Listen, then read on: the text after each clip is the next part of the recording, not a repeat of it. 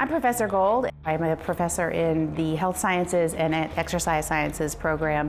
This course in particular is our Exercise and Sports Studies class called Exercise Testing and Prescription. So if you are coaching, if you are exercise science, or if you are strength and conditioning, or if you are health science, you're going to take this class. For the past four falls, we have elicited volunteers from faculty and staff to see if they would be willing to work one-on-one with students throughout the semester.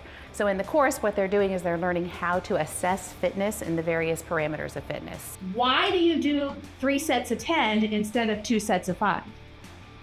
Okay, that's what they know now. They know why. So we have cardiorespiratory fitness, we have muscular strength and endurance, we have flexibility, we have body composition. So the students work through each of those throughout the semester. They learn the material in class, they practice how to do the assessments in class, and then they work one-on-one -on -one with their faculty or staff volunteer to have a real life person in order to practice that skill and, and, and that knowledge. And then they put it all together in order to write an exercise program to either maintain or improve their fitness in those different levels. Having the clients can be real life problems, you know, like they may have may not have a good day or like something might be bothering them, so yeah, you just have to adjust it to make them comfortable.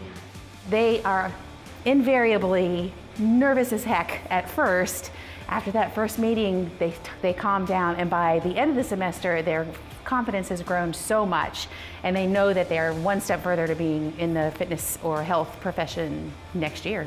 I know this class also helped us prepare, um, especially because, again, a lot of us are going into coaching, AT, PT, anything like that. Um, it helps us work with clients. I think it's a really important thing that, you know, yeah, we can get our programs together, we can get them, you know, trying to get them fit and everything, but we also have to be willing to listen to our clients. We have to be willing to give them positive reinforcement and understanding of them. Sometimes, you know, they might backtrack a couple steps and that's fine. We're really a hands-on department. We love the active learning. We don't have a lot of classes, honestly, that just sit and listen. Students are actively involved in their learning. They're putting those skills into practice. They're figuring out ways the body moves, not just in picture and in verbally, but how the body moves in the real world. So we have a lot of that. In, in, a big school, if I had 100, 150, 200 students, there's no way this would happen. But with somewhere between 15 and 20 students in the class, it's, it's perfect. And we have been blessed every year to have exactly the number of faculty volunteers that we need to match one-on-one -on -one with the students. Volunteer next time, for sure. I'm gonna be asking every spring.